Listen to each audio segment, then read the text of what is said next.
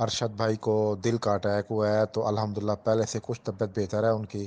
تو تمام دوستوں، بھائیوں، بہنوں سے میری دعاؤں کی اپیل ہے، کل ان کی صبح انجیوگرافی ہے، تو سب بھائی دعا کریں انشاءاللہ اللہ پاک ان کو صحت دیں، استقامت دیں، طاقت دیں انشاءاللہ، اور ہم سب ان کو دعاؤں میں یاد رکھیں۔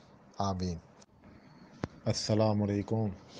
تمام متاثرین لسانی، جتنے پورے پاکستان میں لسانی متاثرین ہیں، میری ان سب سے خصوصی دعاؤں کی اپیل ہے کہ وہ ارشد خان بنیری صاحب کے لیے خصوصی دعا کریں۔ صبح ارشد بھائی کا، ارشد بھائی کی صبح انجیوگرافی ہے، تو میری خصوصی تمام جتنے بھی بہن بھائی ہیں، لسانی متاثرین کے، وہ بس دعا کریں انشاءاللہ، انہیں دعاؤں کی بہت سخت ضرورت ہے۔ آپ سب ان کے لیے دعا کریں۔